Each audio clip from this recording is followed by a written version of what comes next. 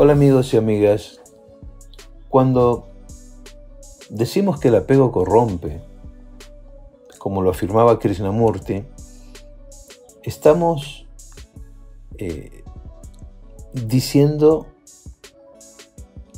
que cuando yo establezco una relación de dependencia con una persona o con un objeto, ese, ese vínculo es como si me sobornara y yo me dejara sobornar. Es como si ese vínculo eh, me pervirtiera y yo me dejara pervertir.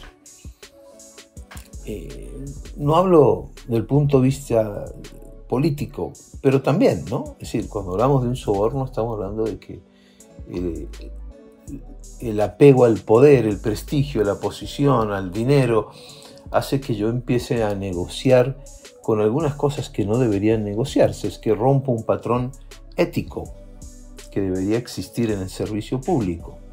Pero cuando hablo a nivel interpersonal, lo que estoy diciendo cuando afirmo que el apego corrompe es que también va en contra de mis principios, de mis valores más profundos, de tal manera que lo que se ve afectado es mi dignidad personal. Es aquellos, aquellos valores de entraña, entrañables, que yo no debería entregar a cambio de nada. Porque entonces mi mente empieza a funcionar como la mente de un adicto. ¿sí? Me va a empezar a costar decir no. Voy a aceptar cosas que no debo aceptar. Me voy a humillar. Voy a tratar de agradar. Voy a utilizar máscaras. Pierdo espontaneidad, pierdo honestidad, pierdo sinceridad. Ser genuino es ser coherente. Pero el apego no te deja, y es que no te va a dejar porque el apego, la otra cara es el miedo, es el miedo a perder esa fuente de placer, esa, esa fuente de seguridad o esa fuente de autorrealización. No podés ser vos así. Es como un automóvil con el freno de emergencia puesto.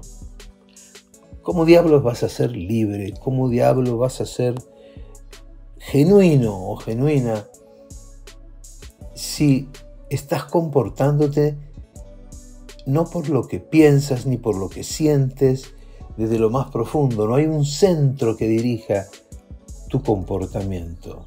Tu comportamiento está manejado desde afuera. Si alguien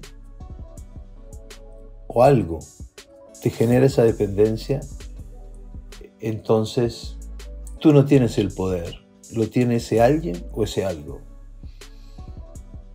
Entonces cuando decimos que el apego corrompe, estamos yendo al tema de los derechos humanos, estamos yendo al tema, como dije, de la dignidad en el sentido de que tú no eres eh, un medio, no eres... Eh, no tienes un valor de uso, ese es un fin en ti mismo. Y ese fin en uno mismo implica que hay una humanidad básica que tú tienes que defender.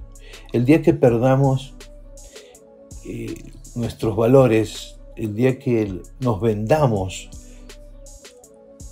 el día que nos entreguemos al mejor postor, pasando por encima del respeto personal, ese día tu humanidad empieza a tambalear.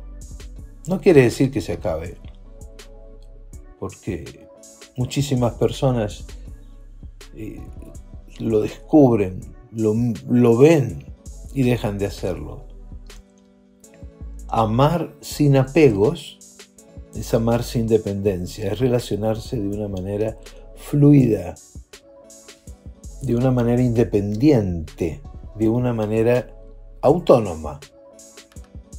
Tú puedes amar sin perder autogobierno, tú puedes amar sin perder autodeterminación, Porque cuando pierdes esto no amas. Te aferras, te esclavizas y eso, eso sí va en contra de tu autorrespeto. Bueno, piensa en esto. Espero que te sirva. Un abrazo. Chao.